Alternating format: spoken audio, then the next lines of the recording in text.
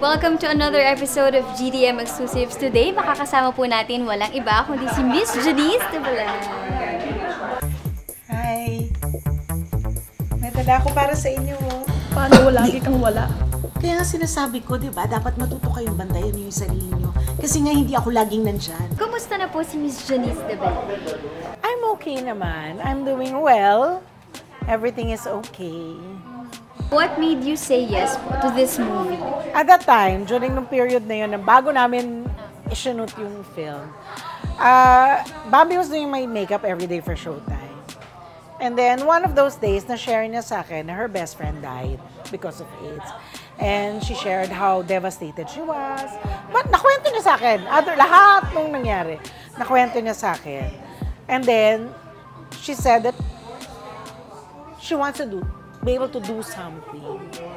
Kasi siguro, when when you're when somebody dies very close to you, parang naghahanap ka ng way to parang ano bang pwede natin yeah. gawin, 'di ba? Ano bang pwede natin gawin? So, yun. Tapos, nung finally, nag-decide siya to do the short film, she asked me if I was willing to be a part of the film, kahit cameo lang. I said yes. Sabi ko, oh, why not? Babalik ako. Bisitahin kita, promise.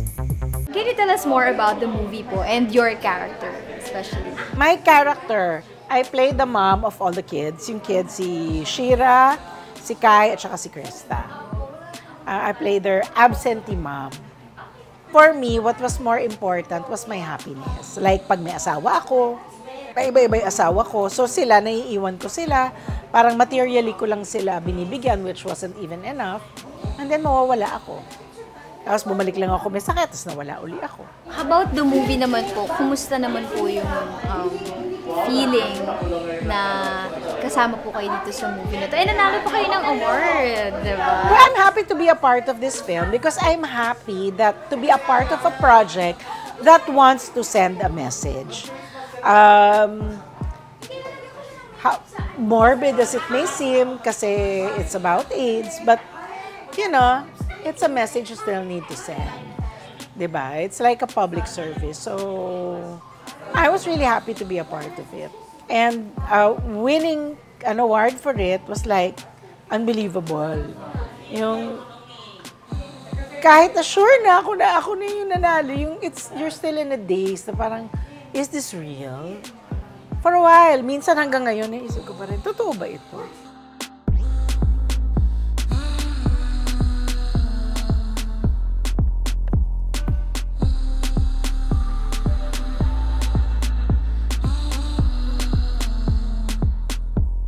Ano naman po kaya yung similarities mo bilang Janice in real life and character mo sa movie, if meron?